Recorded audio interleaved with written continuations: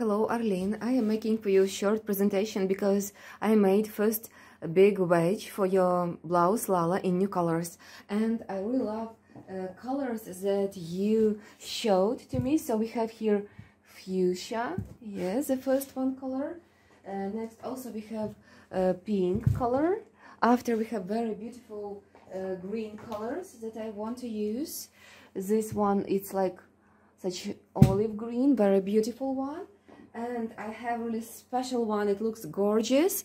Uh, the last four cones I have it will, it will be enough together with another green uh, to create a blouse uh, Lala. Also I want to add a little bit of uh, dusty uh, dusty pink just a little bit and lime. Uh, just for small details it will be really gorgeous. And now I want to show you the first wedge that I have made.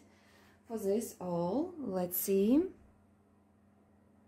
now you can see I started from this uh, fuchsia go I uh, made a smooth transition. After we have this uh, beautiful apple uh, or olive green and next this gorgeous greens that I have the last four cones and a little bit of lime.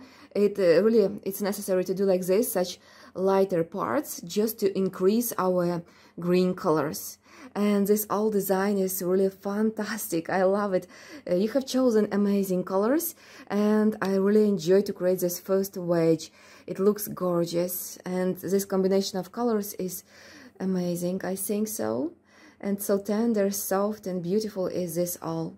Now i will show you this wedge here uh, at the at this platform and now you can see closer this really fantastic wedge so beautiful colors.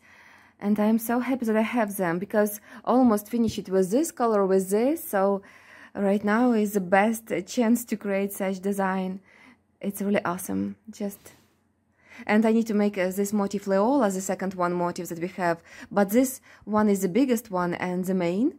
And yes we are using such big wedges to create this blouse Lala so I love it. If you like it too, just let me know and I will continue to create uh, these wedges. We need to create them a lot. so, and it's always really fantastic.